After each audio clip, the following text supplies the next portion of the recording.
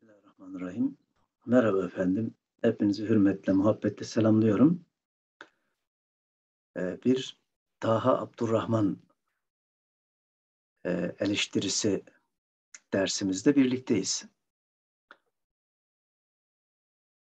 Yapmış olduğumuz sohbetimizin muhtevası itibariyle bir akademik rehberlik dersi olarak düşünerek yaptığım için ders tabirimi hoş göreceğinizi umut ediyorum.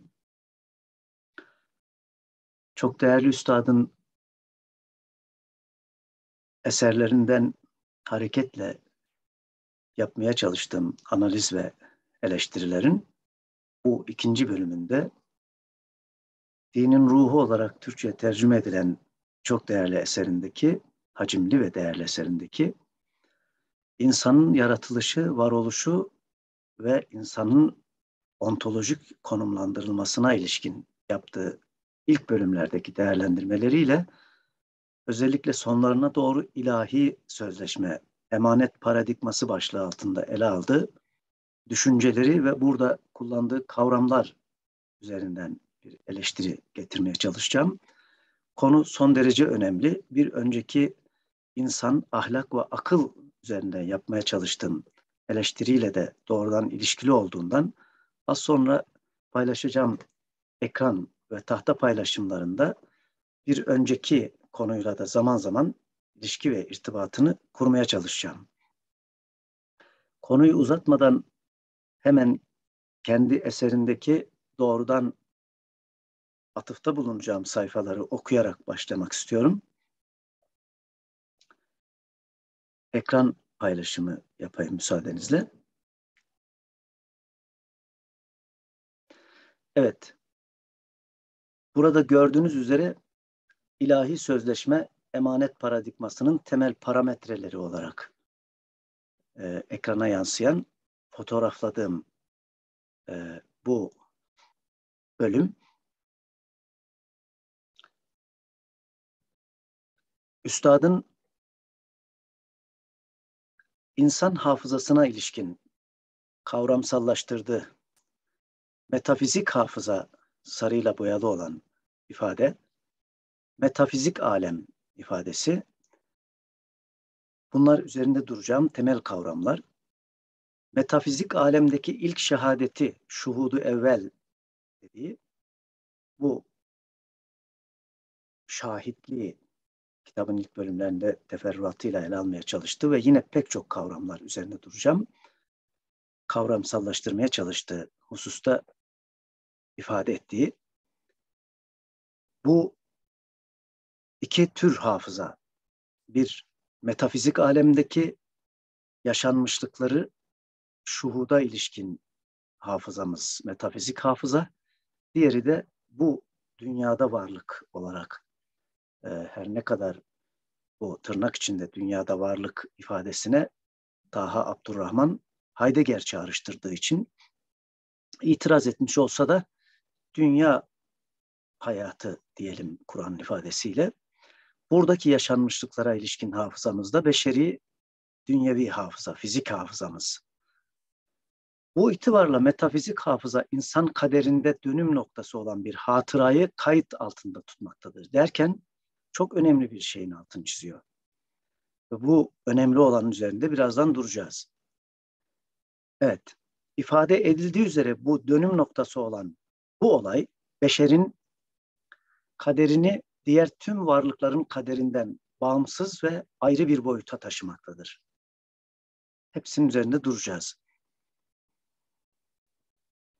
Dönüm noktasını oluşturan söz konusu olay subhaniyet sıfatındaki Hak Teala'nın tabi bu ifadelerde konuşacağız. Tüm mahlukatını sınadığı büyük ve muhteşem metafizik teklif buradaki sınanmanın tüm var olanları kapsadığına dikkatinizi istirham ediyorum. Bu metafizik alemde sadece insan değil, tüm varlığın sınandığı söylüyor. Büyük ve muhteşem metafizik teklif, arzı gaybi olayıdır. Birazdan üzerinde duracağımız Ahzab suresinin 72. ayetinden söz ediyor.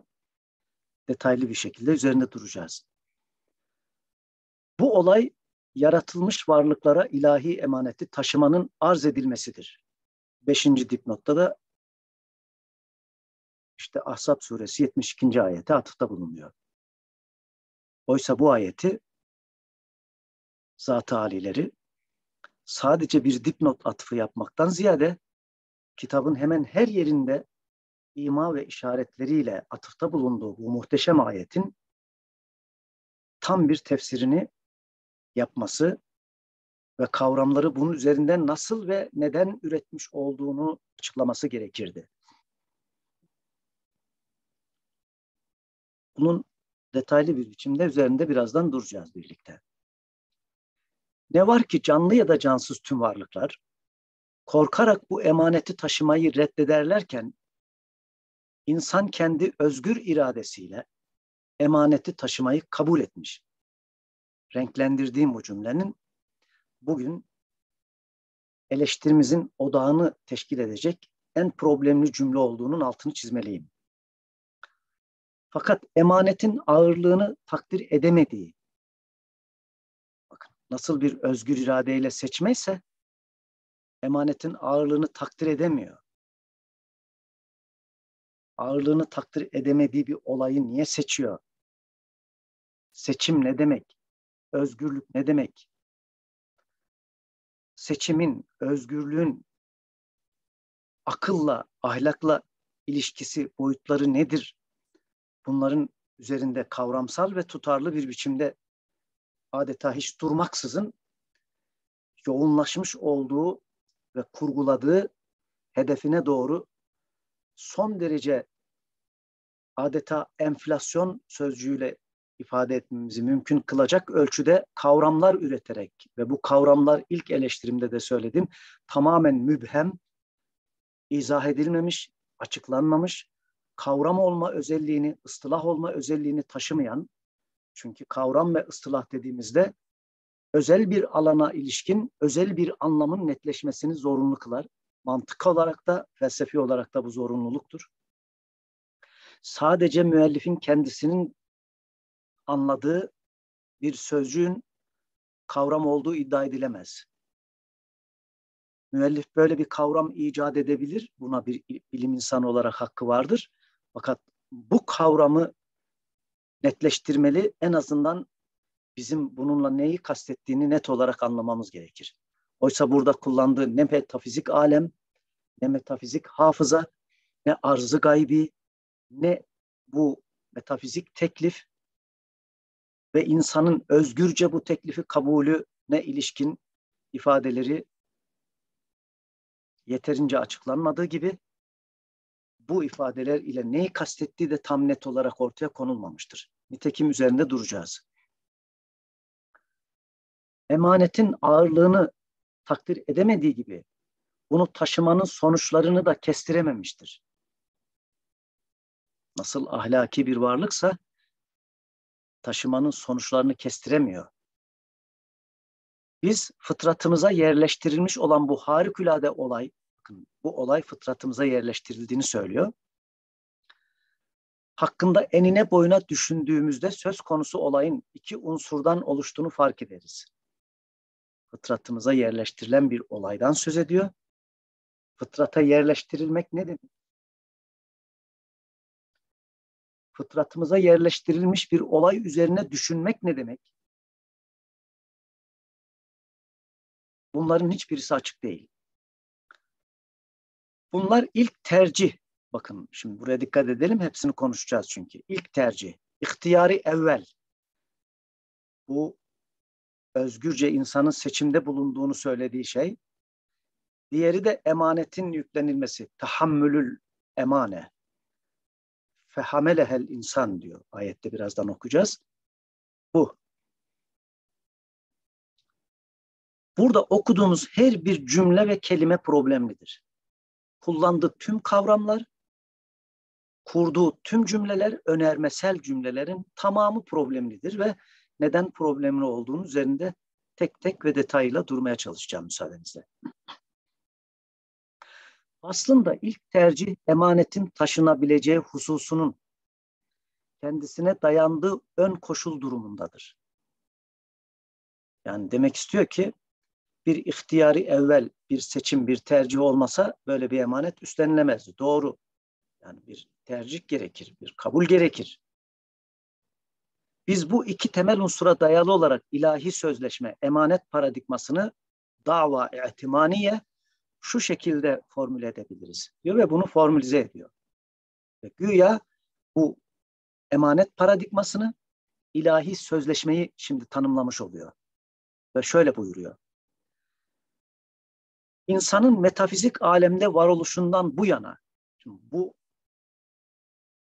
o kadar sorunlu bir ifade ki mantık ve felsefe geleneğinden gelen bir mütefekkirin böyle bir cümleyi kurabildiğine hayret ediyorum. Çünkü cümleyi insanın metafizik alemindeki varoluşuna bağladığınız zaman bu yana diye bir süre geçmez. Çünkü bu yana diye ifade ettiğiniz süreç fizik alemle ilgili bir durumdur. Metafizik alemle olmaz. Bir metafizik alemden söz ediyorsanız onun şimdisiyle, geçmişiyle, geleceğiyle zamansal bizim algıladığımız dünyevi zamansal anlamda bir karşılığı, bir tekabüliyeti olamaz. Onun için bu cümle zaten başından bütünüyle yanlıştır. E başlangıcı yanlış olunca devamının yanlışlığı zaten zorunludur. Mesela metafizik alemde varoluşundan bu yana tercih özgürlüğüne sahip olması. Yani bunu şöyle de diyebilirdi. Az önce az sonra ayetler üzerinden konuşacağız. Yüce Yaradan insanı özgür yaratmıştır. Ve özgürlük iradeyi, tercihi gerektirir. Doğru ama başka şeyleri de gerektirir. Onları söylememiş. Aslında söylemesi zorunluydu. Hangi amaçla göz ardı ettiği bilinçli ya da bilinçsiz bunlara niye değinmediğini anlamak zordur. Akıl ve ahlakla ilişkilendirilmesi gerekirdi. Az sonraki sayfada kısmen ahlaka ilişkin yaptığı e, açıklamaların sorunlarına değindiğimde orada da bunun üzerinde duracağız. Şimdi değerli izleyenler bir tercih hakkına sahip olma, bir özgürlüğe sahip olması onun hem fiziki dünyadaki dini ve taabbudi pratiğini hem de bunun yanında kamu yönetimi ve siyaset pratiğinin ilahi sözleşmeye ehtiman ilahi dayalı tek bir asla irca edilmesini sağlamaktadır. Güya zat-ı alileri demek istiyor ki ya da genel projesi üzerinden söylemeye çalışıyor ki metafizik alemde emaneti üstlenme irade ve özgürlüğüne sahip oluşu dünyada da özgür bir insan olarak yaşamasını mümkün kılmaktadır. Özgür yaşayan birisi olarak da siyaset pratiğini, dini pratikteki seçimindeki özgürlüğü gibi siyaset pratiğinde yani insanın sosyal bir varlık olarak sosyal yaşamı düzenlemeye ilişkin siyasi pratiğinde de özgür olmasını gerektirir diyor. Çok harika bir ifade, çok yerinde bir ifade ama temellendirilmesi ve arkasından gelen söylediği cümlelerin bunu anlamsızlaştırdığını söylememiz mümkündür. Devam edelim. Açıktır ki ilahi sözleşme paradigması daha önce ele alınan sekülerizm paradigması ve din siyasetin ayrıştırılması gerektiğini savunan dini hakimiyetçilik, diyaniye kavramsallaştırdığı paradigmadan büsbütün farklıdır. Zira ilahi sözleşme paradigması önceki iki paradigmada olduğu gibi dini ve taabbudi alan ile kamu yönetimi ve siyaset alanı arasında bir karşıtlık öngörmez. Bu güzel. Ama niye öngörmez? Neden öngörmez? Bu öngörmez oluşunun sonuçları nelerdir geldiğimiz zaman hiçbir somut verinin ortaya konulamadığını tam aksine buyurun şu ifadeleri birlikte anlayalım. emanet ve tercih özgürlüğü ilkesi. Emanet üstleniyorsunuz. Bu emaneti tercih özgürlüğünüz var. Şimdi bunun ilkesel durumundan söz edecek. Daha önce tercih etme özgürlüğünün emaneti yüklenen kişinin kendi tecrübesini gerçekleştirebilme konusunda ön koşul olduğunu ifade etmiştik. Yani bu olmazsa olmaz koşuldur. Eğer bu özgürlük olmasa insan hiçbir şeyi emanet olarak yüklenme gücüne malik olamaz. Doğru. Bu durum insanın kendi inisiyatifi ve tercihi olmadan emaneti yüklenmesi söz konusu olamaz. Yani kendi inisiyatifimiz ve tercihimizle bu emaneti yüklenmiş oluyoruz. Öyle söylüyor. Konuşacağız bunları. Bunların ne kadar Kur'ani söyleme uygun olduğunu da konuşacağız. Hem mantıki, felsefi ve Kur'ani söyleme ne ölçüde uygunluğunu inşallah konuşmaya çalışacağız. Şimdi bunu parantez içinde Arapçasını vermişler. Fela ihtimane bi gayri ihtiyar ilkesi. Doğru. Özgürlük, ihtiyar seçme hakkınız yoksa o zaman bir sözleşmeden de söz edemeyiz. Böyle formüle edilebilir diyor. Madem insan emaneti yüklenme konusunda olabildiğince özgürdür, o halde bu emanetin bir gereği olarak hayatını yönetme konusunda çok daha özgür olmalıdır. O kadar harika bir ifade ki. Şimdi bunu levha yapmak lazım. Yani bunu levha yap, her yere asmak lazım. Ama bunun devamı gelmiyor. Bakın şimdi. Zira asıl üzerinde kudreti bulunan fer üzerinde de kudreti vardır. Bu da önemli bir ilkedir. Bu itibarla ilahi buyruklar ve emirler dikkat buyurunuz şimdi. Levha yaptık asacağız astırmıyor mübarek. Şimdi bu sözlerle nasıl asalım bunu? Şu aşağıda söylediği ifadelerle biz bunu levha olarak asamayız. Levha yaparız kalır. Neden? Şimdi bakın diyor ki bu itibarla ilahi buyruklar ve emirler söz konusu emanetin tevdi edildiği muhtemen kişinin yani insanın hayatının tüm yönleri ile kuşattığı halde insanın bu hayatı yönetmesi ilgili, ilgili ne kadar şey varsa onun kendi tercih kudretine sahip olmasını da gerektirir. Burayı bir daha okuyalım çünkü çok önemli bir şey söylüyor. Bu itibarla ilahi buyruklar, ilahi buyruklara geçti. Önce dedi ki hayatı yönetme konusunda da çok daha özgür olmalıdır. Madem emaneti yüklenmişiz, bu emaneti taşıyacağımız dünyada da özgür olalım. Onu özgürce üstlendik ya madem, burada da özgür olalım. Ama nereye bağladı bakın. Bu itibarla ilahi buyruklara geçti hemen. İlahi buyruklar. Yani insanın uyması gereken buyruklara, insanın tabi olması gereken yasalara geçti. Bu emirler söz konusu emanetin tevdi edildiği kişinin hayatını tüm yönleriyle kuşattığı halde insanın bu hayatı yönetmesiyle ilgili ne kadar şey varsa onun kendi tercih kudretine sahip olmasını gerektirir. Bu kadar kuşatılmışlık içinde nasıl böyle bir tercih kudretine sahip olacaksınız ve bu ne işe yarayacak? Bunu birazdan daha da detaylı tartışacağız zaten. Zira kudret olmadan emir, emir olmadan kudret, tercih olmadan irade olmaz. Şöyle ki, irade asıl olan, potansiyel olarak gerçekleşme ihtimali olan birbirine karşıt eylemlerin yalnız biri ile ilgili kurulmasıdır. Evet, irade, iradede asıl olan, potansiyel olarak gerçekleşme ihtimali olan birbirine karşıt eylemlerin sadece birisinin tercihidir. Eyvallah. Aynen böyledir. Şimdi burada galiba onun e, fotoğraflamamışım. Kitaba bakalım.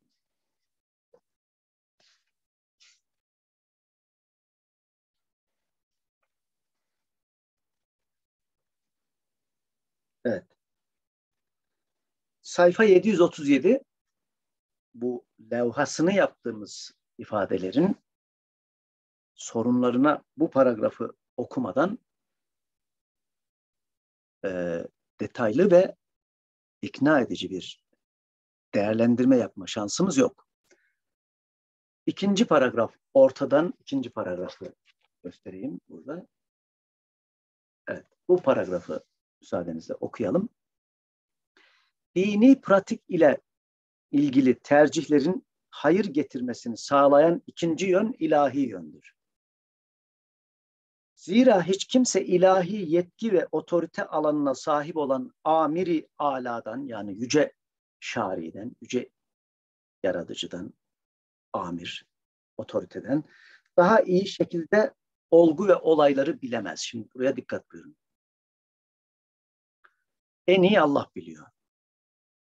Bu itibarla hiçbir inisiyatif, beşeri, insani inisiyatif ve tercih hakka ve adalete uygunluk bakımından ilahi tercihten yüksek olamaz.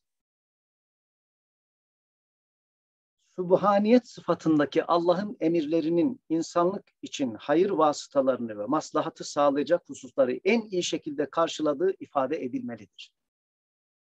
Ve o zaman sevgili üstadım,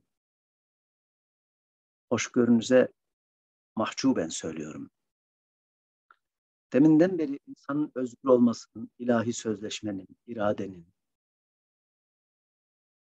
beşeri olarak bunlara sahip olmanın ne tür bir anlamı kaldı? Ne önemi kaldı?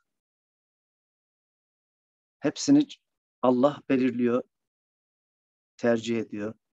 En iyisini o biliyor. Bunlar sizin ifadeleriniz.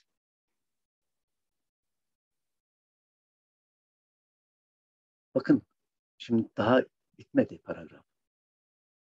İnsanlığın aralarındaki en akıllılarını, en bilgili olanlarını, hayır ve maslahat bakımından kendi kafalarından yasalar koyacak şekilde bu ilahi emirlere benzer yasalar getirmeleri için seferber ettiği farz edilse, insanlık böyle bir seferber olsa, bir araya gelse ve bunların birbirlerine olabildiğince destek verdiği ve kabul edilse bile onlar yine de bu işi başaramayacaklar. Yani Allah'ın belirlediği gibi yasalar, emirler vesaire belirleyemeyecektir.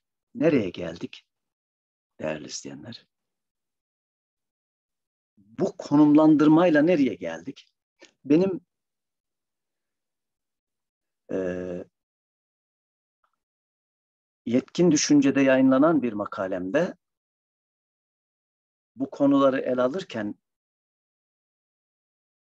dikkat çektiğim bir husus vardı. Geçmiş ülemamızın çok kullandığı e, bir ifadedir. Onu eleştirme açısından söylemiştim.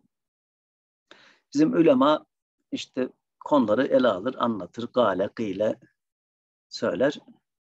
Sonra en nihayet son cümle şudur. Allahu alemu bis savab.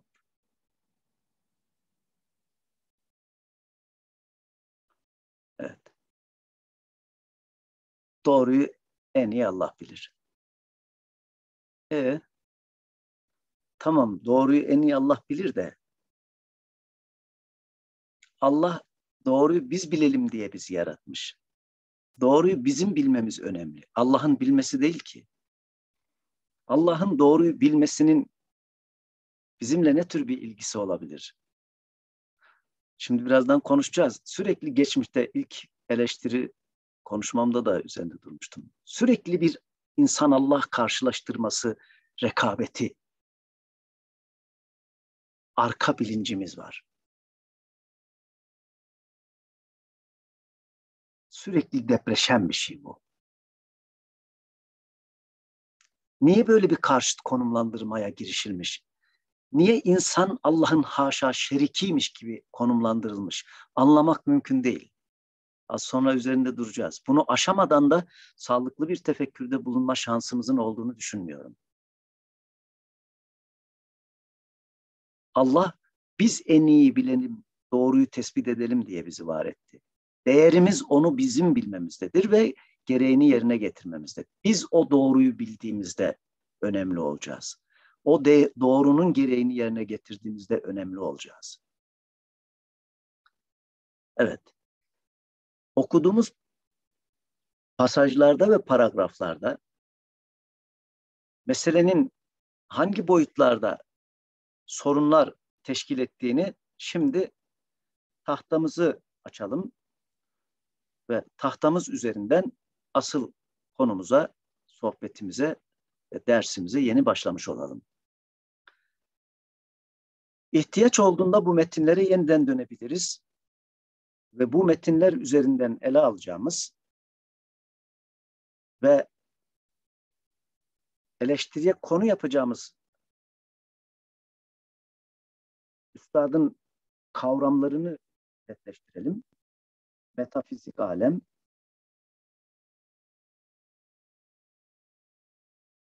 buna ilk bölümlerde alemi gayb diyecek. Alemi gaybın alemi şehadetten daha meşhud olduğunu da söyleyecek. Metafizik hafıza,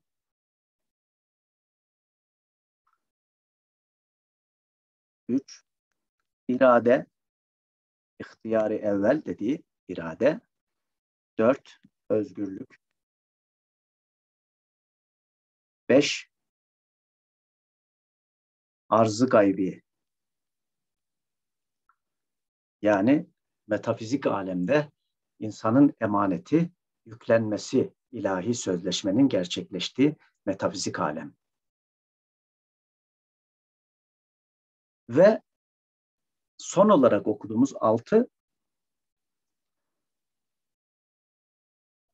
hayır şer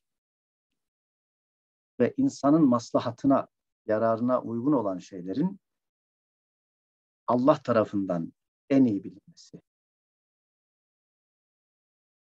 meselesi. Değerli izleyenler, bu ifadelerin tekrar ediyorum tamamı problemlidir. Yeterince iyi açıklanamadığından, bunlar ile neyi hedeflediği ve neyi ortaya koymadığı belirgin olmadığından, müphemliğini koruduğu için son derece problemli olduğunun bir kere daha altını çizmek istiyorum. Şimdi konuya ayetler üzerinden de konuyu işleyeceğiz. Konuya geleceğiz. Şurada önce bazı hususların altını çizerek başlayalım. Ve onları bir netleştirelim. Bunları netleştirdikten sonra hem üstadın eleştiriye konu yapacağım kavramlarına, konularına hem de konuyla ilgili ayetlerin bize ne söylüyor olduğuna ilişkin değerlendirmelere geçebilelim. Peki şimdi o zaman mevzuyu şöyle konumlandıralım. Allah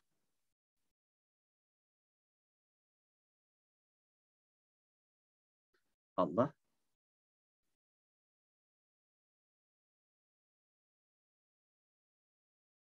insan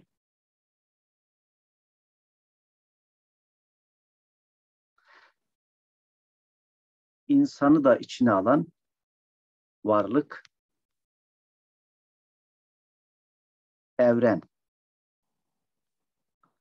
Yani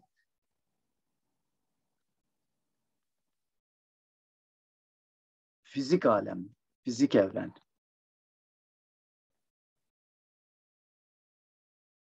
Şimdi hiç kuşkusuz, hiç kuşkusuz burada net bir çizgi çizerek ontolojik bir ayrımı netleştirmemiz gerekiyor. Ontolojik bir varlıktan, ontodan söz ediyoruz. Varlık anlamında. Biz kendi içinde bulunduğumuz ve ait bulunduğumuz fizik alem itibariyle bu aleme, fizik alem, maddi alem, her ne dersek dünyevi alem diyelim ya da diğer bir adıyla çok kullanıldığı için şuhut ya da şahit diğer bir adıyla mahsusat alemi duyularımıza hitap eden bir alemin içinde varız. Peki felsefe geleneğimizde metafizik olarak isimlendirilen ontolojik çizginin şu bize ait altında kalan kısmı bir de artık tabir çok felsefi olarak doğru olmasa da dilsel bir zorunluluk olarak üstü diyelim ya da Wittgenstein'ın ruhunu şad ederek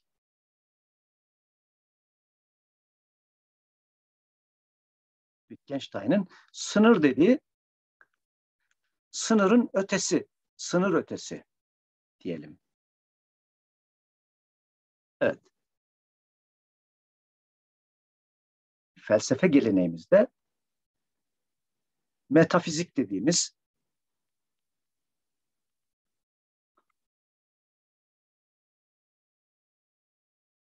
eğer bir varlığa tekabül ediyorsa bu metafizik sözcüğü bu ontolojik olarak bizim içinde bulunduğumuz meşhudat aleminden ayrı olan. Ayrı olmadığında zaten bir ayrım, sınır gerekmez. Ayrı olduğunda da farklı olmak zorunludur. Ayrıysa farklı olmak zorundadır. Farklılığın boyutunu bilemeyiz, içeriğini bilemeyiz, muhtevasını bilmiyoruz. Cabiri derslerimiz, Cabiri 9 dersleri yaptım. Dinleme imkanınız olursa orada Arap aklında epistemolojik olarak beyan epistemolojinin doğuşundan ve kıyastan söz ettiğimizde kelami geleneğimizin en önemli probleminin gaybı yani metafiziği fiziğe üzerinden, fizik üzerinden temellendirmeleri olduğuna dikkatlerinizi çekmeye çalıştım. Dolayısıyla metafizik diye bir alemin söz konusu olduğunu varsaydığımızda bile bununla ilişkili fizikten kalkarak hiçbir şey söyleyemeyiz. Yani fiziki bir varlığımız vardır diye bir de metafizik varlığımızın olduğu sonucunu çıkaramayız. Şu insanın bir fiziki hafızası var diye bir de metafizik hafızası var diyemeyiz. Eğer bir metafizik hafızadan söz ediyorsanız bununla neyi kastettiğinizi, neden kastettiğinizi, bunu nasıl temellendirdiğinizi açıklamak zorundasınız. Sadece isim koyarak gidemezsiniz. Metafizik hafıza kaderin dönüm noktasını belirler, işaretler ve bu bizim fıtratımıza konulmuştur. Biz bunu fıtratta görürüz diyemezsiniz. Çünkü fıtratta böyle bir şey göremezsiniz. Dolayısıyla metafizik dediğimiz alan bizim fizik üzerinden kalkarak hakkında söz söyleyebileceğimiz, akıl yürütebileceğimiz,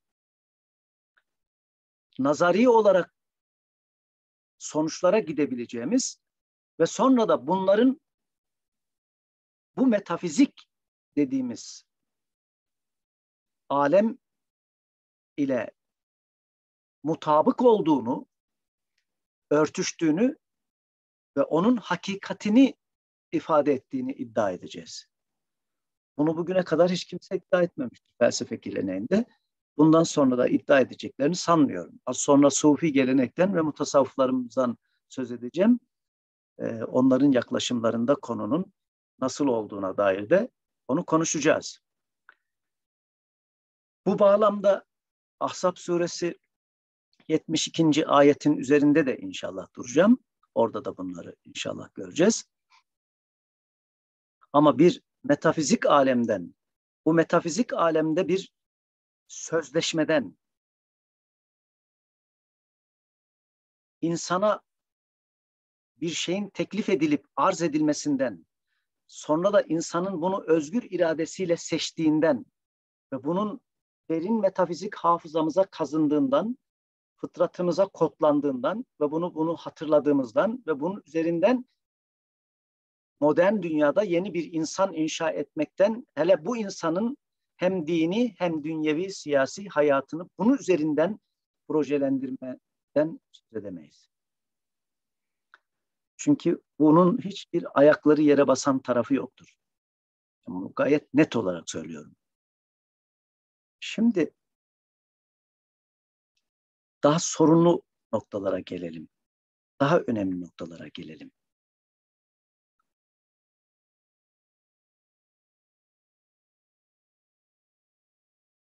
Bu insanın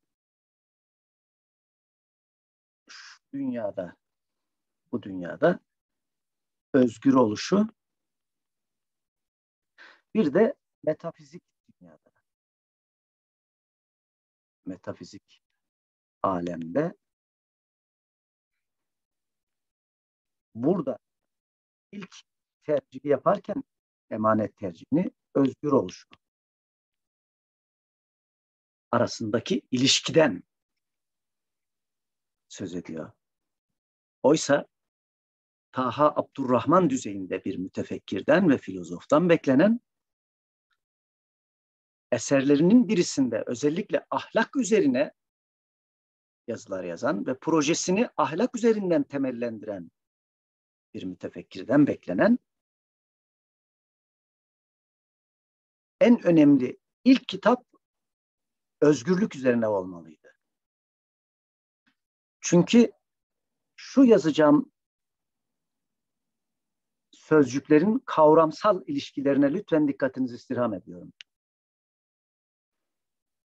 Bir, akıl. İki, özgürlük. Üç, irade. Dört, kudret. Beş, ahlak. Bu ilk dört madde söz konusu olmadan beşinci madde söz konusu olamaz. İlk eleştirimde de bunun üzerinde durdum. Dolayısıyla değerli üstadın bu ilk dört madde üzerinde bizi ikna etmesi ve netleştirmesi ve bunun üzerinden nasıl bir ahlaktan, ahlaki zeminden söz ediyor. Bunu bize göstermesi gerekirdi. Şimdi her değerlerine ilişkin bazı çok temel şeyleri, belirleyicileri yazarak gidelim. Akıl bilgidir, ilimdir. İlme, bilgiye tekabül eder. Özgürlük, buraya dikkat edelim lütfen özgürlük, özgürlük, tercih hakkı, tercih hakkı iradeyle birlikte ilişkilendireceğim. Tercih hakkı seçme hakkıdır. Seçme hakkıdır. Bu iradeyle gerçekleşir. İrade olmayı gerçekleştirir. Tercih ettiğimizi tahakkuk ettirmek kudret gerektirir tercih ettiğimiz şeyi gerçekleştirmek, eyleme koymak, tahakkuk ettirmek kudreti gerektirir. Tahakkuk ettirdiğimiz şey ahlaki bir sonuç ifade eder. Şimdi burada çok önemli bir hususa daha müsaadenize dikkatinizi istirham etmek istiyorum. O da şu. Özgürlük her zaman beraberinde karşıtını, çelişiğini, özgür olmamayı yani diğer bir ifade nedir? Köle olmayı ifade eder. Köle. E insan Allah'ın kuludur, abdir. İnsan abdir. Allah'ın kuludur. Allah'ın kulu olarak temellendirdiğimiz bir insanın ne ölçüde özgürlüğünden söz edebiliriz? Hangi tür bir özgürlükten söz ediyoruz? Kelami olarak da bunu inşallah ileride kelam derslerimizde onu hem sünni kelam geleneğinde hem mutezili ve diğer kelam geleneklerinde okuyacağız derslerde birlikte. Peki nasıl bir özgürlükten söz ediyoruz? Ne ölçüde bir özgürlükten söz ediyoruz? Ve özgürlük her zaman özgür olmamayı çağrıştırır, karşıtını çağrıştırır. Diğerleri de öyledir ama burada en önemli kavram özgürlüktür.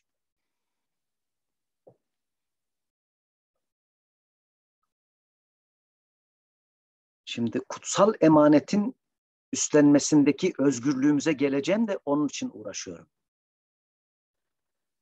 Tabii burada konuyu biraz daha müsaade ederseniz derinleştirelim.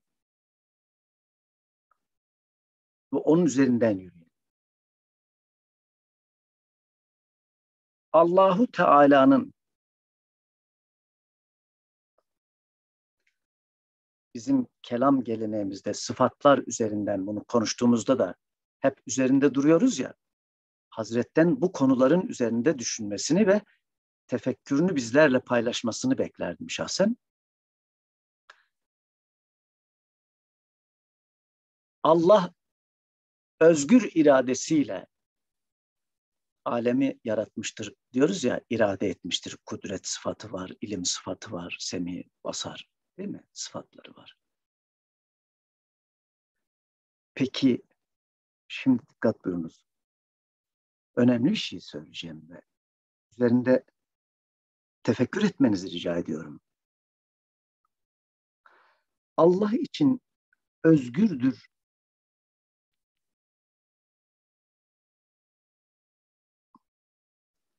Nitelemesinde bulunabilir miyiz? Özgürlük Allah'ın bir sıfatı olabilir mi? Daha açık söyleyeyim. Biraz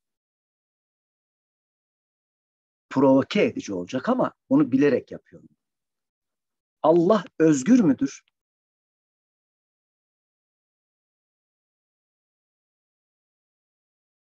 Evet. Allah özgürdür diyebilir miyiz? Özgürlük seçenekleri gerektirmez mi? Yani A, B, C, D en sayıda seçeneklerden birini tercih etmeyi iradeyle irade. Özgür mü Allah? Allah mürit mi? İrade eder mi? Seçer mi? Allah'ın söz konusu olduğu yerde seçeneklerden söz edebilir miyiz? Bunların hepsi bizim fizik dünyamıza ilişkin kavramlardır. Onun için konunun metafizik felsefi arka planının çok iyi işlenmesi ve incelenmesinin gerekli olduğu kadar bu konularda tasavvuf geleneğimizin gnostik, işraki ve mistik geleneğinde bu manada çok iyi bilinmiş olmasını gerektirir. Onun için bu konuya girdiğimiz zaman İbn Arabi merhumun ruhunu şad etmeden bunu konuşabilir miyiz? Elbette hayır. Neden o mutlak hayalden söz eder?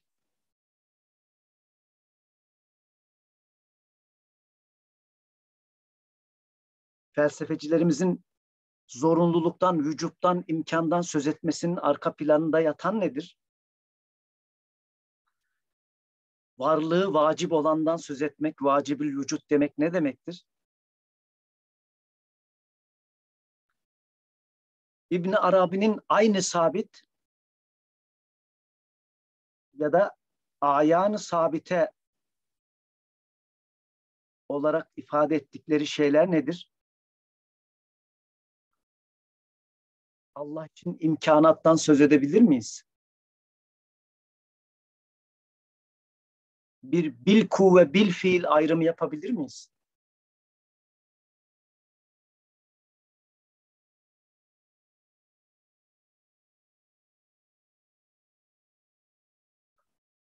Allah'ın özgür olmama alternatifi yok ki onun için özgür dertten söz edelim. Allah'ın alternatifleri yok ki tercihinden, iradesinden söz edelim. Allah'ın meçhulü yok ki ilminden söz edelim, bilgisinden söz edelim. Onun için felsefe geleneğinde Aristoteles'in Tanrı bilmezi yanlış anlaşılmıştır. Çünkü Tanrı tabii ki bilmez. Tanrı bilir mi? Meçhulü olanlar bilir. Çünkü bilmek bir meçhulü bilmektir. E peki Tanrı'nın meçhulü var mı? Hayır. Zaten Tanrı var olduğu için meçhul diye bir şey yoktur. Tanrı var olduğu için varlık vardır da yokluk yoktur. Onun için Parmenides haklıdır. Tanrı varlıktır ve başka bir şey yoktur. Başka bir şey söylenemez. Varlık vardır. O kadar. Tanrı bilgi olduğu için bilgisizlik, cehalet diye bir şey söz konusu olamaz. Tanrı varlığın kendisi olduğu için işte bu bize onun özgürlüğünü, mürit oluşunu, iradesini, kudretini, bilgisini vesaire düşünürken dini söylemlerde vahye konu olan boyutuyla onun teorik felsefedeki, metafizikteki Tanrı'ya ilişkin onun varlığına ilişkin kavramsal içeriklerini birbirine karıştırmamak lazım. Bu itibarla özgürlük vesaire bizimle ilgili bir şeydir.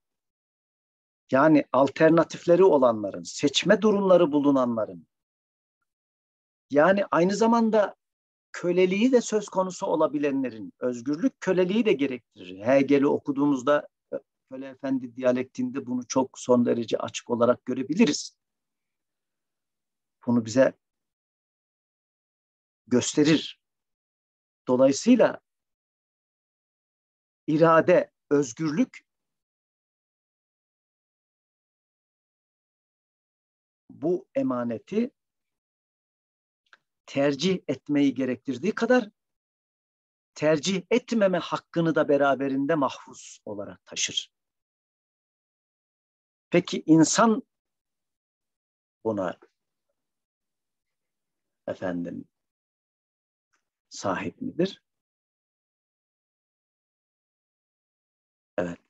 İnsan o emaneti üstlenmeyebilir miydi diye Hazrete soruyorum. Özgür iradesiyle seçmiştir diyoruz ya. Seçmeyebilir miydi? Seçmeyebilmesi bir alternatif olarak Tanrı'nın yaratıcılığıyla, tanrılığıyla çelişik olmadan izah edilme imkanı söz konusu mudur?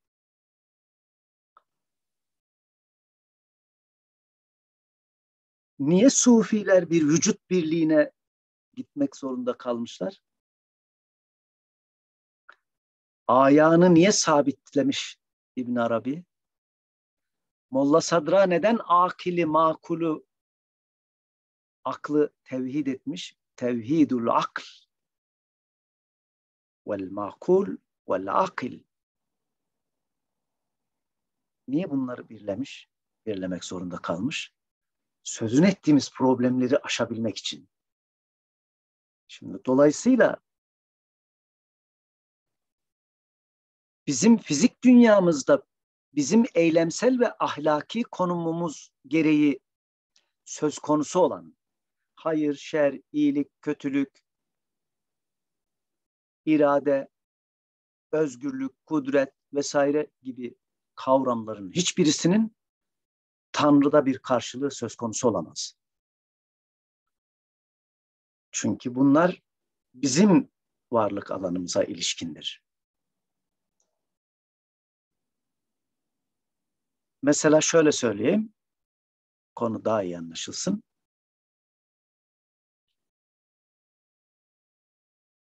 Allah insanı yaratmayabilir miydi?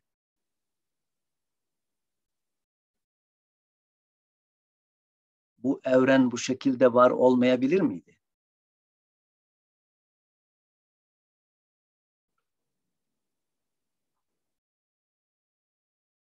Benim Teodise yazımı okursanız Yetkin Düşünce'de yayınlanan orada bunlara nasıl farklı yaklaşılabileceğine ilişkin örnekler verdim.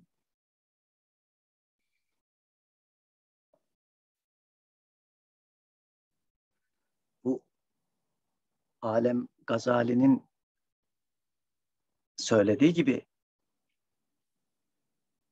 mümkün alemlerin içerisinden en iyisi olarak seçilmiş, yaratılmış bir alem. Böyle şey Tanrı için mümkün alemler diye bir şey var mı? Olur mu? İbn Arabi'ye soralım. Adem nedir? İmkan nedir? Ademi mutlak nedir? Mutlak hayal nedir? Mutlak vücut nedir? Bunların arasındaki farklar nelere tekabül eder? Dolayısıyla bu hususu fizik dünyada bizim kendi varoluşsal zeminimiz üzerinden değerlendirmeliyiz. Kavramları bizim dünyamız üzerinden geliştirmeliyiz. Ve bunların eğer Allah ile Kur'ani terminolojide Allah ile felsefi terminolojide Tanrı ile ilişkilendireceksek o zaman bunları sağlıklı ilişkilendirmek zorundayız. Şimdi buraya tekrar döneceğim. Kavramsal problemlere yeniden döneceğim. Allah Resulü buyuruyor ki sallallahu aleyhi ve sellem hem Malik'in muvattağında hem Buhari'nin talikatında gördüğümüz bir rivayet bu. Likulli dinin huluk. Her dinin bir ahlakı vardır. İslam'ın ahlakı hulukul İslam el haya. İşte bu el haya değerli izleyenler fıtrattır. Bir önceki dersimizde ve sohbetimizde fıtratallah üzerinde durmuştuk.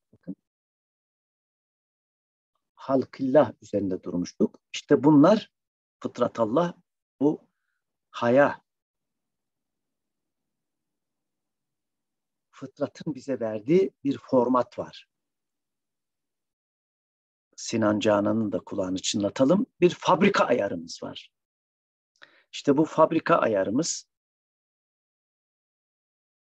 bizde verili olarak bulunan ve dolayısıyla otomatik olarak devreye giren ve fonksiyonel hale gelen haya, yüz kızarması, utanma vesaire en ilkel biçimiyle ileri boyutlarını birazdan konuşacağız. Bunlar fıtrattır. Şimdi Allah diyor ki insanı bir proje dahilinde bunları konuştuk. İnsanı Allah yaratmıştır diyor. Ve insan bir projedir. Bütün donanımıyla bir projedir. Şems suresine inelim. Bakın Cenab-ı Hak bir sürü yeminler ediyor. Keşke imkanımız olsaydı bu yeminlerle ilişkisini de kurabilseydim ama vaktimiz müsait değil. Ama Kur'an hermenetiği olarak bu yıl yayınlanacak kitabımda inşallah bu yeminler ve yeminleri mütakiben gelen ayetlerle olan ilişki üzerinde inşallah e, Kur'an hermenetiği olarak duracağım. Bakma imkanınız olursa sevinirim. Bakın Allah insanın yaratılışını tamamladığını söylüyor. Ve nefsin ve ma sevvaha. Allah bir can, bir insan teşkil etti yarattı, halk etti. Bakın fataran nas insanı yarattı. Değişmeyen bir programla yarattı. Genetiğimizi belirledi. İşte burada bize bakın bu tamamlanmışlık insanın insan olarak tamamlanmışlığını göstermek bakımından o insana feelhemeha fucuraha ve takvaha. Bakın.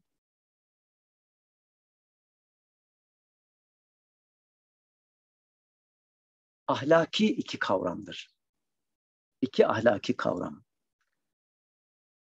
Kötü ve iyi. En genel ifadeleriyle böyle tercüme edebiliriz. Kötü olanı ve iyi olanı fark edebilme, yönelebilme dedik ya bakın. Ve akim ve çeke, yönelecek. Yöneldiğinde fark edecek. İyiyi de, kötüyü de. Fücur olanı da, takva olanı da. Üzerlerinde sizi çok yormazsam vaktimiz kalırsa bunların tekrar dönüp detaylandırmaya çalışacağım. Konumuzla ilgili, konumuzla ilişkili bakımından. Ve dolayısıyla insan tamamlanmışlığı, insan varoluşunun tamamlanmışlığı, o tamamlanmışlık içinde potansiyel olarak bil kuvve, bil kuvve iyiyi, bil kuvve kötüyü fark edebilmeye, bil kuvve fark edebildiğimiz kötülüğe ve iyiliğe bil fiil kudretimizle ahlaki olarak onları sonuçlandırmaya muktediriz, kudretimiz var. O halde dikkat buyurunuz, bizi yaratan iyi ve kötüyü potansiyel olarak fark edebilme konusunda bize fabrika ayarı olarak verili bir biçimde mahiyetimize bunu koymuş. Bu iyinin ve kötünün iyinin ve kötünün ne olduğunu yöneldiğimizde bilebilmek için bir, hemen devreye akıl girdi. Bunlardan herhangi birisini seçmek için özgürlüğümüz, tercih için irademiz, özgür olmamız, irademiz ve ahlaki sonuçlar doğurmak üzere de kudretimiz devreye girer. Böylece bu beşli ilişki içerisinde insan yaratılışını yaratan belirlemiş ve devamında zaten diyor ki siz tercih hakkı bulunan, irade verdiğim, özgürlük verdiğim, akıl verdiğim, bunlarla donattığım bir varlık olarak buradaki şu nefse, iyiye ve kötüye potansiyel olarak sahip olan nefse racidir. Onu temizlerseniz, onu kötü olandan, hucurdan arındırır, takvaya büründürürseniz felaha, kurtuluşa da ermiş olursunuz. Başarılı olursunuz, başarırsın. Bu sınavı başarmış olursunuz. Sınavı geçersiniz. وَقَدْ خَابَ مَنْ دَسَّاهَا Eğer kötünün hilelerine, kötünün kötülüklerine kapılırsanız, hile ve tuzaklarına düşerseniz, habe kaybedersiniz, sınavı kaybedersiniz. Şimdi dikkat buyurunuz. Bu bizim yaratıcının bizi yarattığı ana kartımız bu. Fabrika ayarımız bu.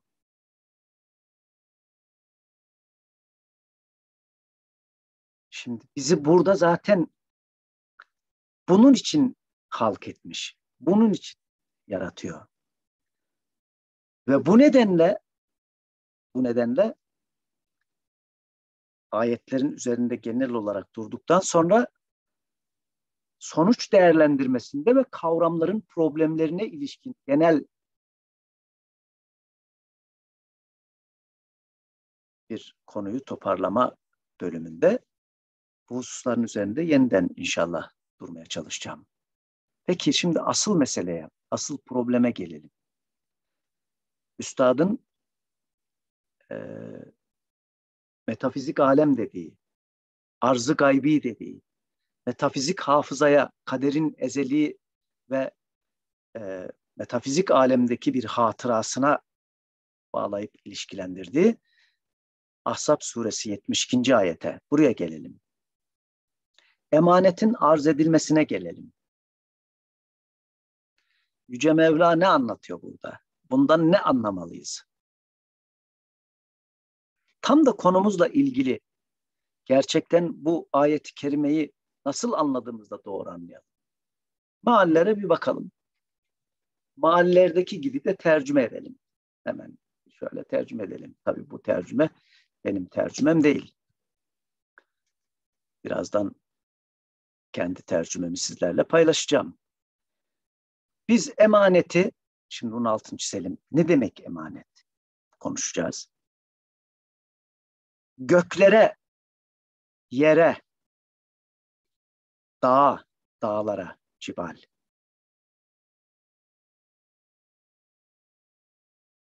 Arz tekil, gökler, yerler ve yer.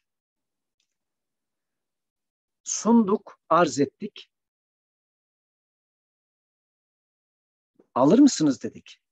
Değil mi? Ticaretin en temel kavramı arz talep. Evet, arz ettik. Talip misiniz? Böyle bir şey alır mısınız? Göklere, yere. Bunun metaforik olduğu aşikar. Değil mi? Ontolojik bir dil bu. Metaforik bir dilden söz ediyoruz. Çok önemli bir şey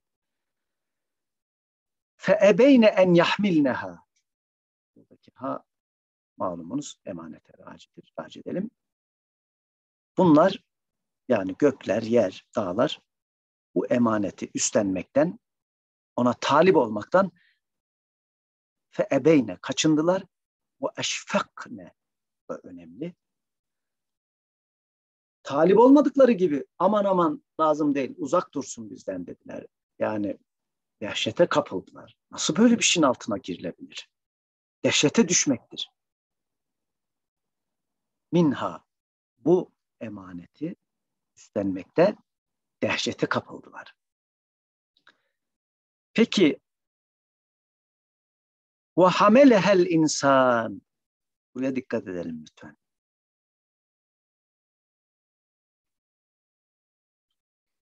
Buradaki ha yine emanet raci. Emaneti insan üstlendi. İnsan üstlendi.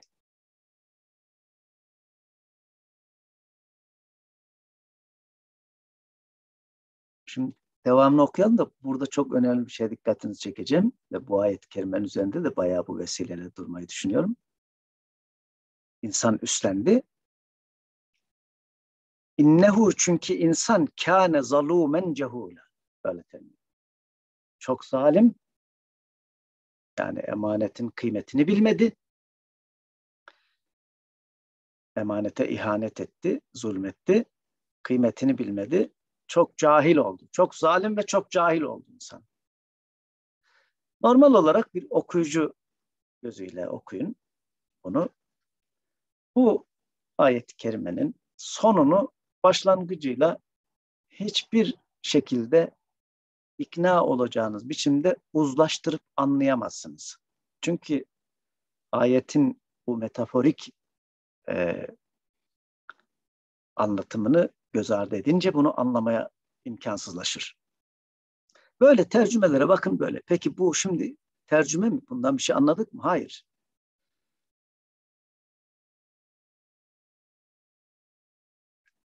Daha önemli husus üzerinde durarak buralara gelelim ve bu kelimelerin ne anlama geldiği üzerinde duralım. Hamelehel insan, insan üstlendi.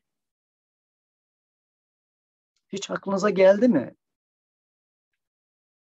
İnsana arz olmamış ki. Emanet kimlere arz ediliyor? Göklere, yere ve dağlara.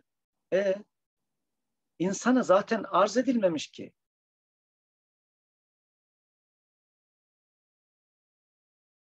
Dikkatinizi çekti mi?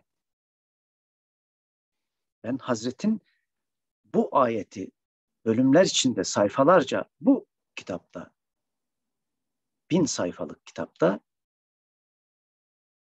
çok detaylı bir biçimde felsefi birikimine, tasavvufi birikimine uygun olarak ele almasını o metafizik alem, ihtiyari evvel, özgürlük, seçim hakkı vesaire dediği hususlarla ilişkilendirip, ilintilendirerek ele alıp efendim açıklamasını beklerdim. Şimdi dikkatinizi çekti değil mi ayet-i kerimede? İnsana arz yok ki insan üstlensin. Arz edilenler gökler, yer, dağlar. Ha şöyle denebilir. Hocam burada vav atıftır. Yani ve aretnel insan insana da arz ettik. Hamele her insan diye Arapça mümkündür yani gramer olarak. Böyle söylenebilir. İzahlar getirilebilir. Fakat öyle değil. Şimdi Şems suresine ve benzeri surelere yeniden dönelim. Ki inşallah çok yakında kanalımda Hazreti Adem'in yaratılışına ilişkin bir yaratılış metaforunu ele aldım bir video yayınlanacak. Orada da bunlara benzer şeyler üzerinde duracağım. Onu da izleyerek bunlarla ilişkilendirebilir ve bir bütün oradan bütün bir düşünce çıkarma imkanı söz konusu olabilir. İnsana arz edilmemiş. Neden? Arz demek, arz edilen şeyden bunlar mahrum demektir. Bakın buraya dikkat edin. Pazara bir şey arz edersiniz. Alıcılar oraya gelir. Niye gelirler pazara? Pazarda olana sahip olmadıkları için. Her neyse pazarda olan ona sahip olmadığı için pazara gelir ve orada olanları alır. Bunlar da almamış. Allah bir pazar kurmuş, bir emanet pazarı var. Göklere, yere ve dağlara buyurun bugün pazarımızda bunlar var. Onları almamışlar. Lazım değil demişler. Neden? Çünkü onlar da zaten bu yok. Arz böyle bir şeydir. Hiç arza gerek yok. İnsan zaten onu üstlenmiş. Niye? Öyle yaratıldı zaten. Gökler, yer ve dağlar böyle bir emaneti üstlenmek üzere yaratılmadı ki üstlenebilsinler. Peki şimdi söyleyelim, soralım. Taha Abdurrahman üstadımın kavramlarıyla soralım. Üstlenebilirler miydi? Şimdi arz edildiğine göre, arz edildiğine göre burada dikkat buyurunuz bir özgürlükten iradeden söz etmemiz gerekmez mi? Çünkü insan seçti özgürdür diyor Taha Abdurrahman. Haklı. Peki gökler tercihte bulunabilir miydi? Yer, dağlar, hayır. Bulunamazdı. Üstlenemezdi. Buradaki ifade onlar seçebilirdi değil. Ayeti iyi anlayalım. Onlara da arz ettik, isteseler seçerlerdi değil isteyemezlerdi. Seçemezlerdi. Böyle bir özellikleri yok çünkü. Peki neden arz edilmiş? Çünkü emanetin şu emanetin insan doğasına, insan fıtratına, insanın yaratıldığı fıtratallahilleti fataran nas aleyha buyurduğu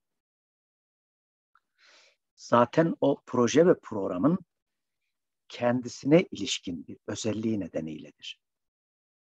Yani ey insan demektir bu ayet. Hacminin, cisminin, cirminin küçüklüğüne bakma. Dağlar senden büyük, yer senden büyük, gökler senden büyük. Ama bu büyük cisimlerin, bu devasa cirmlerin isteseler de üstlenemeyecekleri bir emanetin taşıyıcısısın sen. Neden? Çünkü Şems suresine atıf yapalım. Sen zaten bu emanetle donatılmış olarak var edildin. Fabrika emanet, fabrika ayarın emanettir.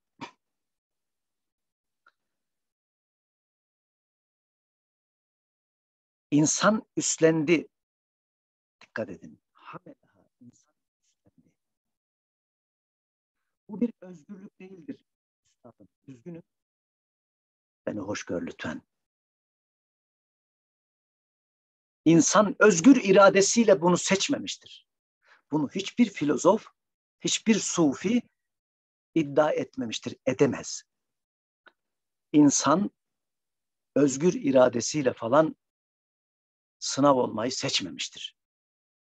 bunu ne metafizik hafızaya tırnak içinde söylüyorum bir kavram olduğu varsaydığımızda bile bağlayarak izah edemezsiniz ne de hakikat olarak izah edebilirsiniz.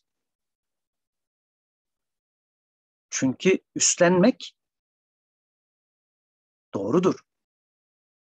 Bir tercih gerektirir. Ama nerede? Şurada. Hemen inelim. Şurada. Şurada gerektirir. Fizik alemde. Ama burada biz henüz yaratılma safhasındayız. Varoluş şu konuşuyoruz. Varoluşsal düzeyde insan böyle bir emaneti zaten üstlenmiş olarak yaratıldı. Bakın ve nefsin ve ma sevvaha fe elhemaha fucuraha ve takvaha kad eflaha men zekkaha ve kad khabe men dessaha. İnsanın tesviyesi tamamlandığında emaneti üstlenmişti zaten. Onun için hamele bir özgürlük, bir irade, bir özgür seçim falan değildir. Bir fıtrattır, yaratılıştır. Fataran nastır, aleyhadır. Bu itibarla değerli izleyenler, insan, insan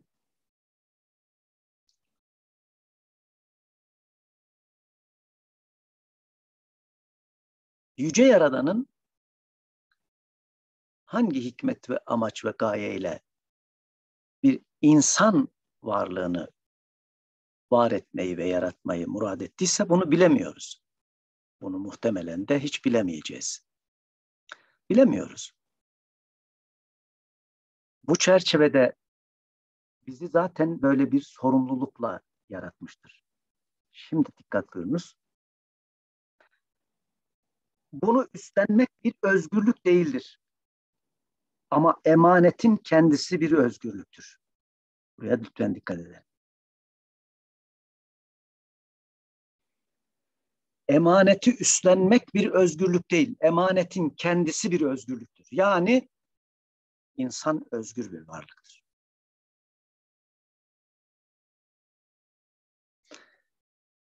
İnsan özgür bir varlıktır. Ama bu dünyada var olmayı ve imtihan al almayı seçmemiştir. Yani ben seçmedim şahsen.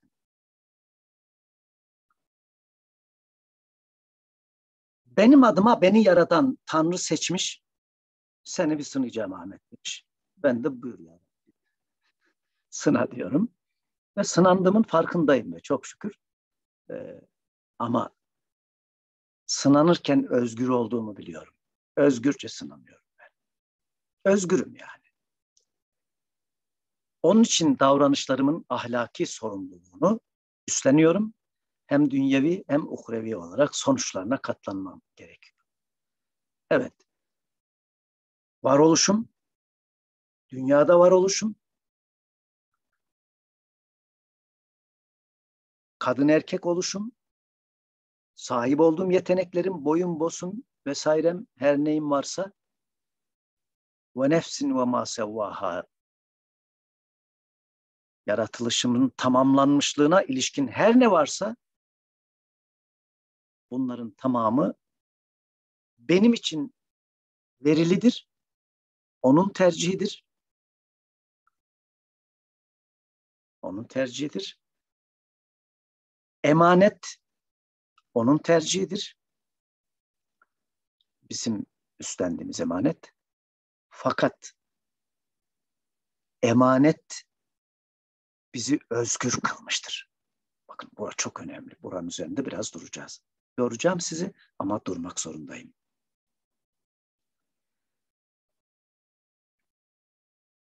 Ayet bize diyor ki gök böyle bir emanet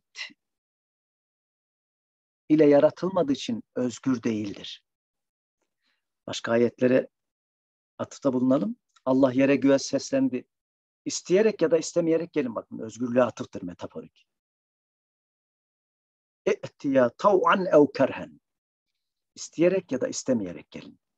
İsteyerek istemeyerek. Bakın bir özgürlük irade. Etayna tayin diyor. Tek seçenekleri var.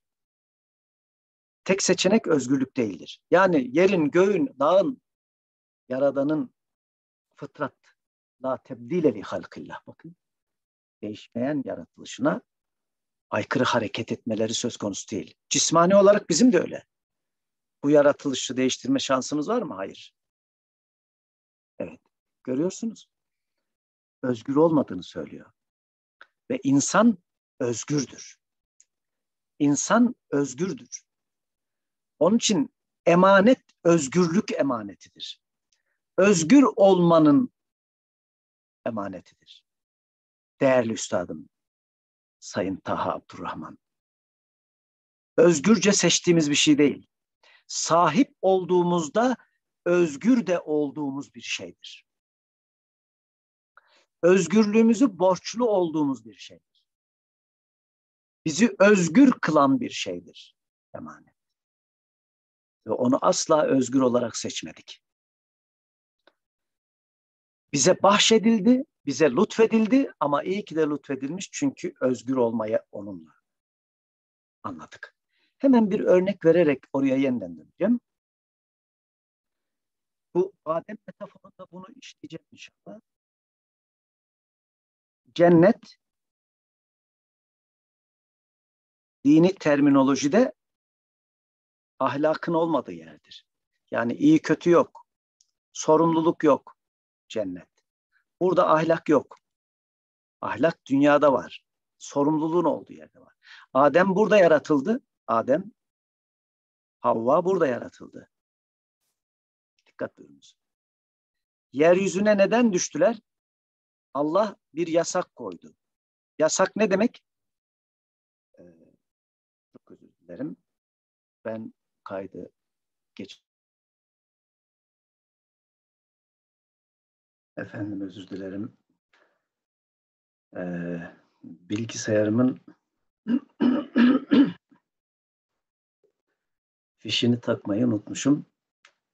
O da beni uyarmış zaman az kalıyor diye ama ben tabii e, cennete, cehenneme, özgürlüğe vesaireye öyle bir daldım ki e, konuyu e, ele almada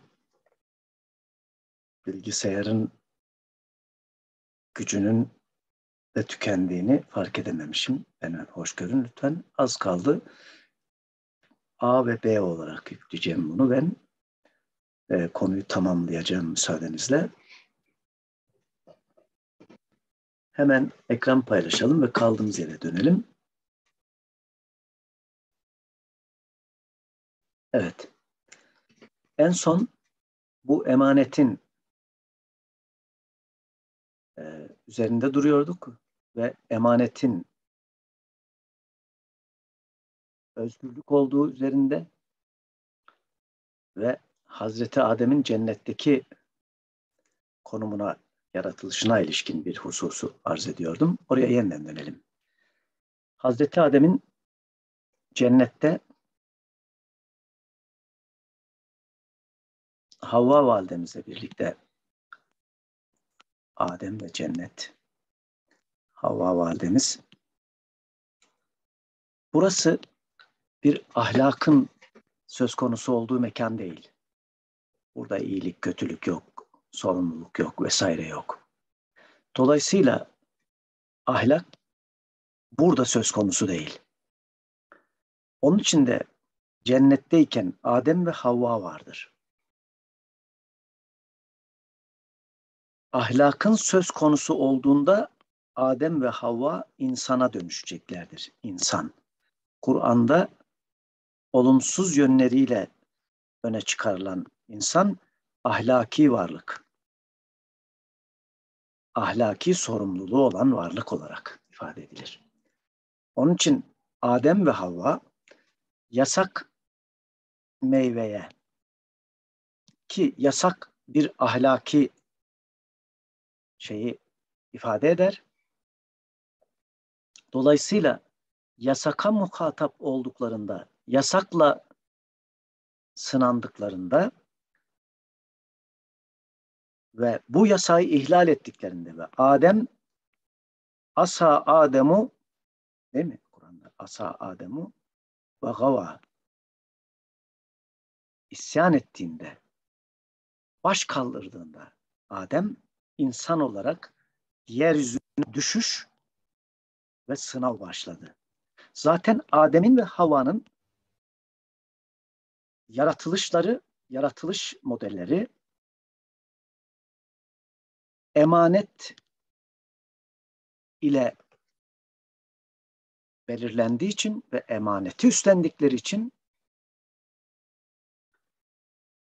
dünyaya geldiklerinde hamelehel insan insan o emanetle birlikte gelmiş oldu. O donanımla birlikte gelmiş oldu. Dolayısıyla işte emanet emanet bizim özgürlüğümüz olan emanet. Bizi özgür kılan emanet. Tanrı'nın bize bahşettiği, lütfettiği bir şey olarak emanet. Ayetin devamında dikkat edin. Bu insan, nehu insan, zalumen cehulen bakın. Bu sözcüklerin keşke uzun imkanlarımız olmuş olsaydı da işraki ve sufi hermonetik üzerinden yorumlarını da yapabilseydik ama o Adem Havva konusunun hermonetiğini yaptığım yerde bunlara da inşallah kısmi de olsa temas etmeyi düşünüyorum. Burada zalum mübalağa ile zulmetmek anlamına geldiğinde işte insan fıtri olarak üstlenmiş olduğu özgürlüğüyle sınırsız zulme yeteneği imkanı vardır. Bunu olumsuzmuş gibi algılıyoruz. Tercüme edilince insan hem böyle bir emanet yükleniyor hem de zalim cahil oluyor. Bu nasıl bir şey gibi algılıyoruz.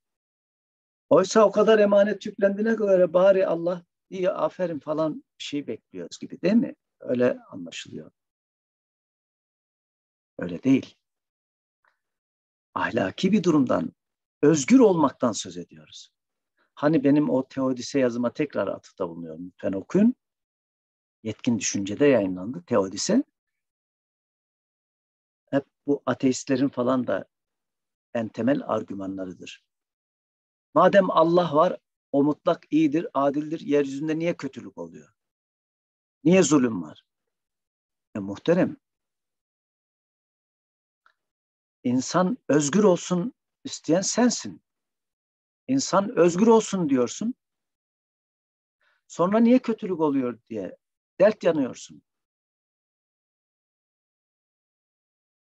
Özgürlük varsa sınırsız düzeyde zulüm de olacak, adalet de olacak. Dolayısıyla burada ahlaki olarak sahip olduğumuz özgürlüğün olumsuz yönü pasaj açısından da, ayetin geçtiği bağlam açısından da öncesiyle sonrasıyla birlikte okursanız olumsuzunun öne çıkarılması her zaman mantık açısından bu çelişik ve zıt kavramlarda çelişiğini ve zıttını da çağrıştırır. Zalum olduğu kadar aduldür de insan. Ya da mübalağa sigasıyla uduldür de aynı zamanda. Çünkü adaletin adul çoğulu da var, udulü de var. O burada zul, e, e zalum olduğu için adulu kullandım. Demek ki ahlaki manada ve dikkat edelim lütfen konu ahlak olduğunda ve özgürlük olduğunda duygusal olarak biz elbette iyi olanı önceliyoruz ve iyi olana yöneliyoruz. Ama insanın insan olması ve emanet sözcüğünün emanet sözcüğünün özgürlük olması nedeniyle bunun adaleti gerektirdiği kadar zulmü de gerektirmesi zorunludur. Eğer bu sadece emanet iyilikten ibaret olsaydı zaten özgürlükle bir alakası olmazdı. Melekler gibi. Zulümle de ilgisi olduğu için ve ahlaki olarak değerlendirdiğimizde zulüm de adalet kadar önem kazanır. Ahlaki bir kavramdır çünkü. Biri olmadan diğeri olmaz. İkisi birlikte olduğunda bir ahlaktan ve özgürlükten söz ederiz. İnsan sınırlandırılmayacak derecede zalim de olabilmelidir, adil de olabilmelidir. O zaman emaneti üstlenmiş olur. Emanet ile yaratılmış ve doğmuş olabilir. Aksi takdirde anlamsız olur. Onun için burada ayet olumsuz bitmiyor. O tam da belagata uygun olarak ele aldığı ve vurguladığı emanet kavramındaki özgürlük kavramının içeriğini tam doldurarak ifade etmiş oluyor. Ha olumsuzunu öne çıkarıyor, bağlamı gereği. Bağlamı nedeniyledir. Zaten devamında Allah münafıklara şöyle azap edecek diye onunla ilişkilendirmesinin sebebi de o zulmüyle öne çıkan cehaletiyle, cahilce davranışlarıyla bu zulüm ve cahillik kelimeleri birbirine kullandığında zulmün zulmün özünde bir cehaleti barındırdığına olan vurgusu nedeniyle gelmiştir. İnsan şöyle bekler. Zalim de olmuştur, şöyle adil de olmuştur. Zıttını verseydi. Hayır. Vurgu zulme olunca zaten adaleti çağrış, çağrıştırıyor. Ama cehul burada çok önemli bir belagat işaretidir. Neden? Çünkü her zulüm cehalet üzerine temellenir. Her zalim cahildir.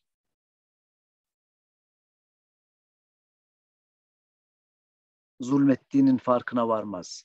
Zulmettiğini bilmez. Ya da bile bile zulmeder. Keyif alarak zulmeder. İkisi de cehalettir. Çünkü buradaki cehul özgür olmanın iyi olmanın kıymetini bilememektir.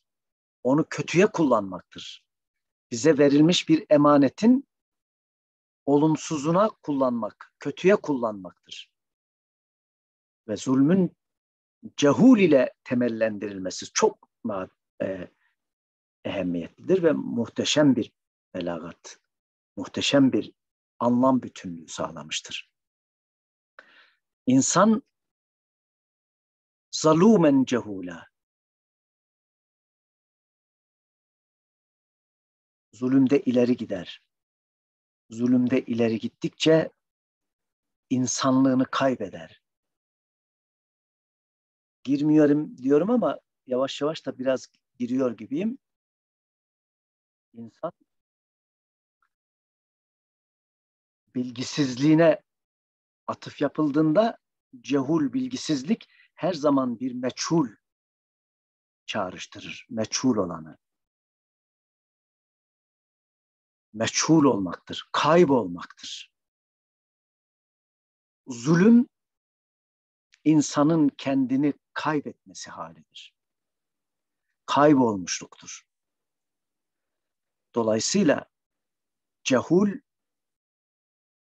meçhul, kaybolmuşluktur zalume zulüm anlamı verebileceğimiz gibi zaleme kökünden zulmet anlamı, karanlık anlamı da verebiliriz ki ben şahsen onu tercih ediyorum. İnsan özgürlüğün ona sağladığı aydınlığı, aydınlanmayı gerçekleştiremezse emanet onun için bir zulmete, karanlığa dönüşür ve karanlık eşittir meçhuliyettir. Karanlık eşittir meçhuliyettir.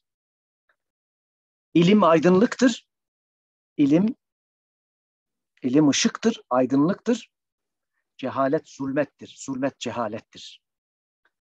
Dolayısıyla insanın zulmete düşmesi, karanlıklarda kalması, meçhule gömülmesi,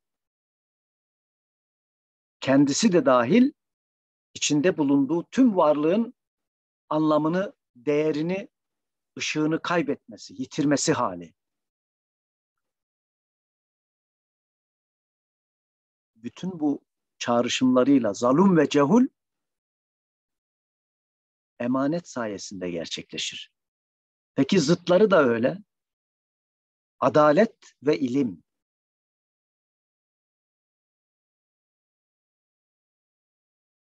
Bilgi ışıktır. Bilgi adalettir. Adalet bilgeliktir. Dolayısıyla ayeti kerime son derece önemli olan insanın yaratılışındaki temel bir özelliğe, fıtratındaki fabrika ayarına ve zaten birlikte ve onunla yaratılmış olduğu emanete dikkat çekerek bize efendim mahiyetimizi anlatıyor. Öyle metafizik alemde metafizik bir şehadet yok bilmem ne böyle bir şey anlatmıyor.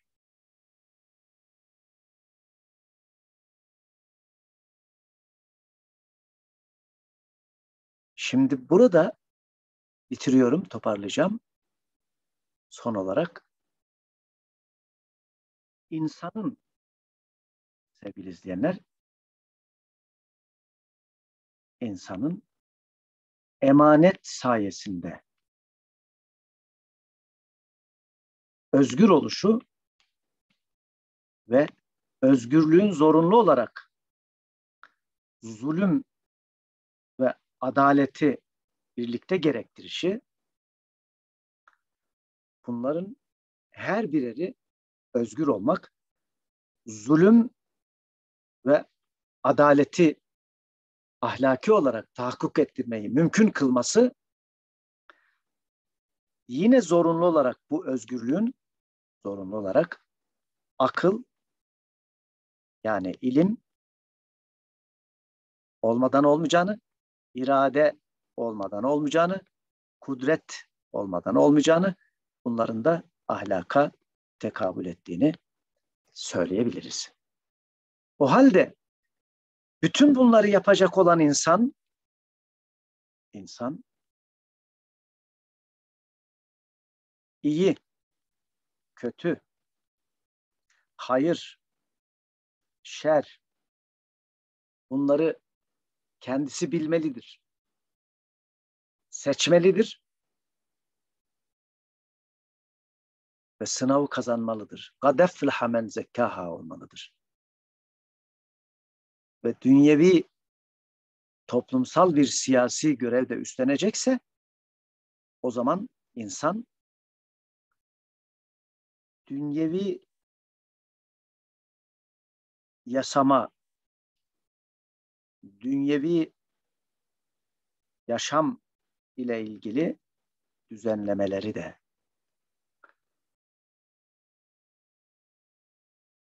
efendim gerçekleştirebilmelidir.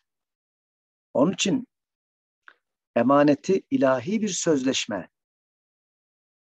ilahi ve gaybi bir sözleşme metni olarak algılamak, örtük bir biçimde Allah insan karşıtlığını temele koymaktır. Geleneğimizin en önemli problemi bu olmuştur. Allah insan karşıtlığı diye bir şey yok. Allah var. İnsan da onun bir projesidir, yaratmıştır. Yaratılışında ona bir özgürlük vermiştir. Özgürlüğün, aklın, irade ve kudretin bir bedeli olarak da davranışlarından, amellerinden onu sorumlu tutmuştur. Bu kadar. Eğer temellendireceksek insanı bu temel üzerinden el almak ve temellendirmek durumundayız. Bu itibarla sevgili izleyenler, değerli üstadım Taha Abdurrahman'ın son derece önemli eseri olan Dinin Ruhu kitabındaki insanın ontolojik olarak konumlandırılmasına ilişkin yaklaşımları ve bu bağlamda ürettiği kavramları ilahi sözleşme paradigması emanet üzerinden ele aldığı, temellendirdiği ve yine bu bağlamda ürettiği kavramları sorunlu odur, açık ve net değildir ve Kur'ani söylemin özüyle de uzlaşmamaktadır. Bir sonraki eleştiri sohbetimizde ve dersimizde buluşmak üzere hepinizi Allah'a emanet ediyorum. Konu bütünlüğünü bölen bu şarj sorunun nedeniyle de efendim sizlerden bir kez daha hoşgörünüzü, affınızı bağışlanmamı rica ediyorum efendim. Allah'a emanet olunuz.